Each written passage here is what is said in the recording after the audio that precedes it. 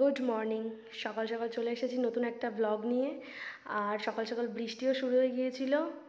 আর আমি আছি এখন কলকাতাতে। আমি যাচ্ছি স্প্ল্যানেটে তো তার আগে ইকো পার্ক যাচ্ছিলাম বাট ইকো পার্ক বন্ধ ছিল। তো এই যে এখন বিশ্ব বাংলার সামনে দিয়ে ক্রস করছি। আমি কোনোদিনও বিশ্ব বাংলায় যাইনি, তবে আমি মানে আমার ইচ্ছা আছে বিশ্ব বাংলাতে গিয়ে একটা ভিডিও করে তোমাদের সকলকে দেখানোর। তো আমি খুব তাড়াতাড়ি বিশ্ব বাংলাতেও যাব। দেন একটা প্রবলেম হয়েছিল, সেটা হচ্ছে ইকো পার্ক যে খোলা না বন্ধ মানে কিছুই বুঝতে পারছিলাম না। তো গিয়ে দেখছি বন্ধ। কিছু করার ছিল না সেই সময়। তো আকাশটাও খুব সুন্দর ছিল। মানে আধ ঘণ্টা আগে বৃষ্টি হয়েছে। বৃষ্টি হওয়ার পর সুন্দর মানে ওয়েদারটা পুরো পরিষ্কার হয়ে গেল। তো এখনও জানি না স্প্ল্যানেটে সব কিছু মানে মার্কেট খোলা আছে কি নেই। তো তোমরা চলো, দেখতে থাকো।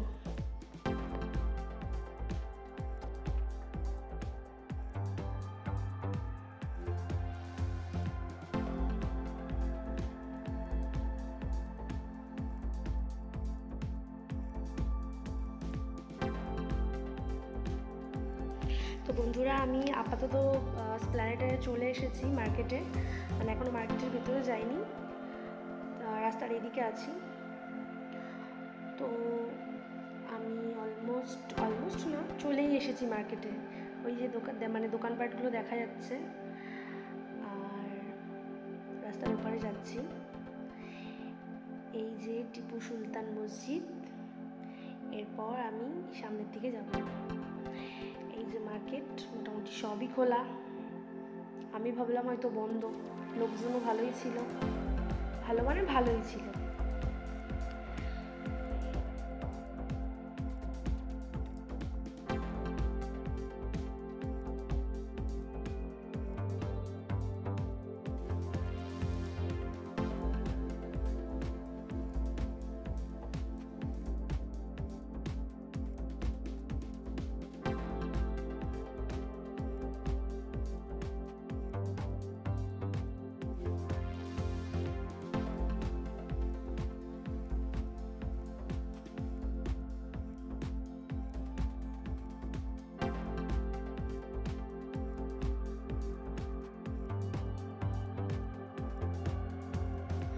আর ফাইনালি আমি সেই জায়গাতে চলে এসেছি যেখানে বলে সবাই চুরির মাল চুরির মাল। মানে এখানে যত চুরির প্রোডাক্টগুলো বিক্রি হয়, তো সেই বসতেই আমি একটা মোবাইল স্ট্যান্ড দেখছিলাম। স্ট্যান্ডটা আমার খুব পছন্দ হয়েছিল, কিন্তু উনি অনেক অনেক দাম বলছিল। সেজন্য নিয়ে নিই আমি। তো যাই হোক, কী আর করা যাবে? তবে আমি একটা কথা বলতে চাই সবাইকে। আমি স্প্ল্যানেটে যতবার আসি, আমি সানডে করেই আসি। তো একটা মল আছে এখানে, সেই মলটা বন্ধ থাকে সানডে করে। তো আমি মানে মানডে করে গিয়েছিলাম এখানে। তো ফাইনালি আমার যেটা মানে একটা ইচ্ছার বিষয় ছিল, যেটা আমি ওই মলটাতেই পাই মানে ওই শপিং মলটার মধ্যেই ওটা আমি পাই।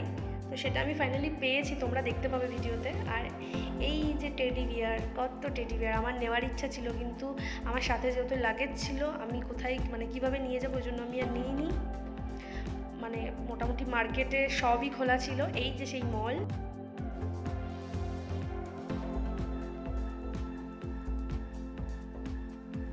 তো এই যে আমি চলে এসেছি, এরপর আমি তোমাদের দেখাবো যে আমি কিসের জন্য বিশেষ করে এখানে আসতে পছন্দ করি? তো সেটা আমি দেখাচ্ছি তোমাদেরকে।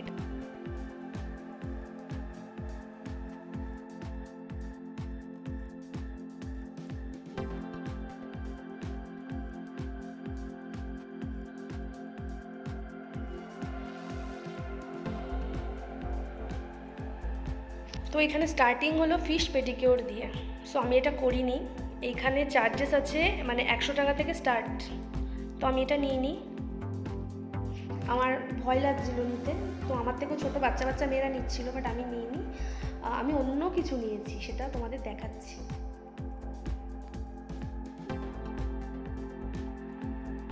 এটা আমি যেটা নিয়েছি সেটা হচ্ছে এটা। ঠিক আছে? এটার প্রতি আমার মানে প্রচণ্ড ইন্টারেস্ট ছিল। এটাই আমার নেওয়ার শখ ছিল। আমি পাঁচ মিনিট নিয়েছিলাম পঞ্চাশ টাকা দিয়ে অটোমেটিক ম্যাসাজ চেয়ার তারপরে আমি দেখলাম যে দুশো টাকায় ভালো ভালো জুতো এখানে পাওয়া যাচ্ছে, তো আমি নিয়ে নিলাম একটা জুতো। তারপরে আরেকটা জিনিস দেখলাম, এই যে নেল এক্সটেনশন।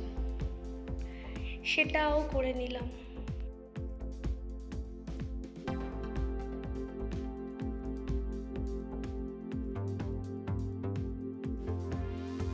সো আমি বসে পড়েছি নেল এক্সটেনশন করতে।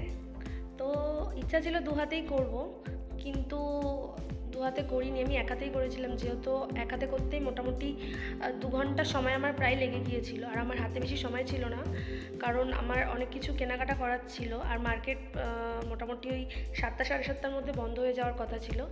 তো সেই জন্য আমি এক হাতেই করেছি। অনেকটাই টাইম লেগেছে, অনেকটাই। এতক্ষণ বসে থাকার ধৈর্য মোটামুটি আমার নেই অন্তত। তো যার ধৈর্য আছে সে বসে থাকবে, অবশ্যই করবে বাট আমি দু হাতে করিনি, আমার অত ধৈর্য নেই, তো আমি এক হাতেই করেছি। তো এবার তোমরা হয়তো বলবে যে, তাহলে তুমি বা হাতে, ডান হাতে কেন এই ইয়েটা মানে কাজ তোমার হাতে করছে?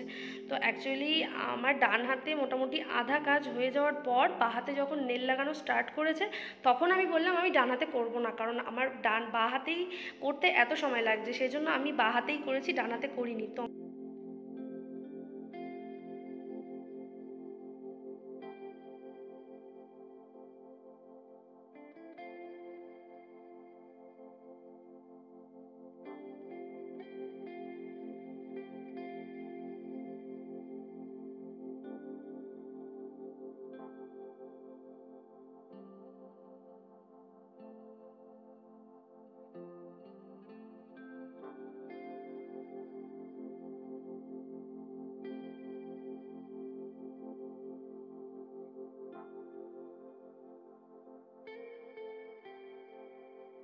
তো আমার নেল এক্সটেনশন অলমোস্ট না প্রায় কমপ্লিট ঠিক আছে?